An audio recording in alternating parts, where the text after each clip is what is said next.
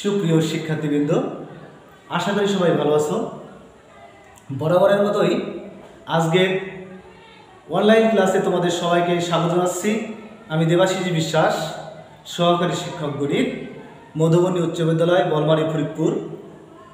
আমার আজকের ক্লাসের আলোচ্য বিষয় নবম ও দশম শ্রেণির গণিত পাঠ্য বই থেকে অধ্যায় তিন, যার শিরোনাম বীজগাণিতিক রাশি এবং এ অধ্যায় থেকে অনুসরণী তিন পয়েন্ট এক থেকে আট ও দশ নম্বর সমস্যাটি আলোচনা করব। আশা করি আশা করি সবাই ক্লাসটি তোমরা মনোযোগ সহকারে দেখবে। তো চলো আমরা শুরু করি।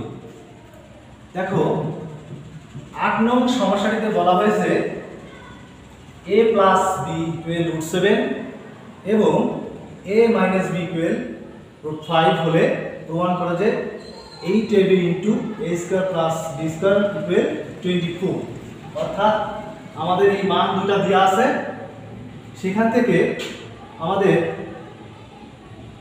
এটা প্রমাণ করতে হবে। Eight A B eight A B into A square plus B square equal twenty four এটা আমাদের প্রমাণ করতে হবে। অর্থাৎ যাচাই করতে হবে। তাহলে আমরা এভাবে করতে পারি। আট নাম্বার। দেওয়া আছে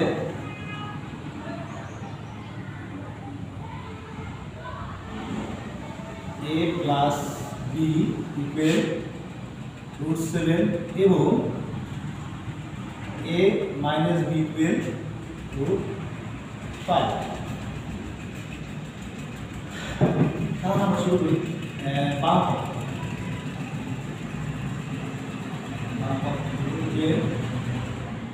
eight A B into A square plus B square আচ্ছা দেখো আমাদের মান দেওয়া আসলে এ প্লাস বি এবং এ মাইনাস বি মান তাহলে আমার সূত্রগুলো কিন্তু এ প্লাস বি এবং এ মাইনাস বির মাধ্যমেই ফেলাইতে হবে। আচ্ছা আমরা জানি এ বি সূত্র কি জানি মনে আছে? A plus B by two whole square minus A minus B by two whole square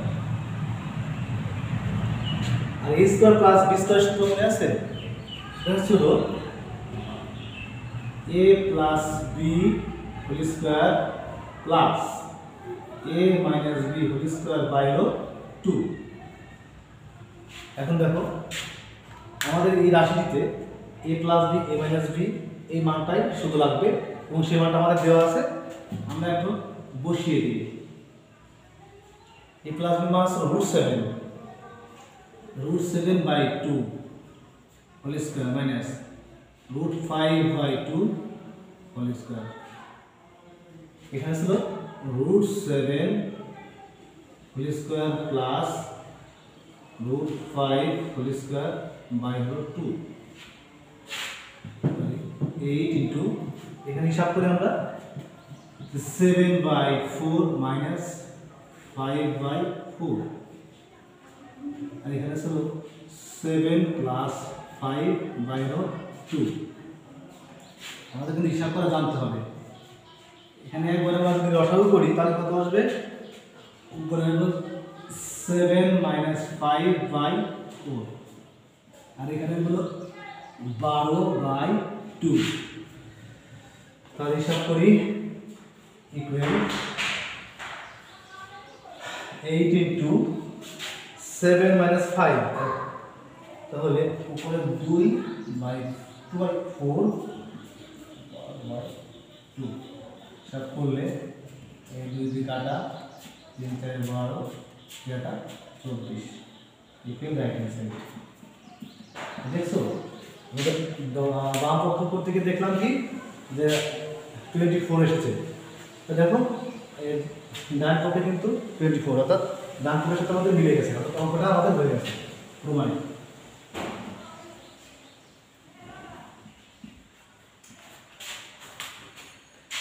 এবার চলো পরবর্তী অঙ্কটা করা যাক। আশা করি তোমরা সবাই বুঝতে পেরেছ, অঙ্কটা ভিতরে একটু ক্যালকুলেশন করতে হবে, এটা তোমরা একটু ভালো করে বুঝে নেবে। আচ্ছা আমরা পরবর্তী অঙ্কটা দেখি।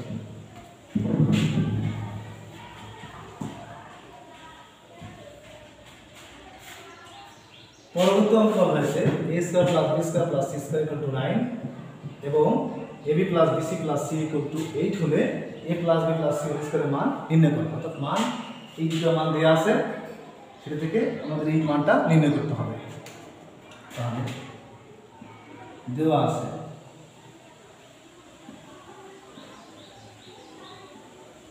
A square plus B square plus C square equal nine এবং A B plus B C plus C K equal eight তাই না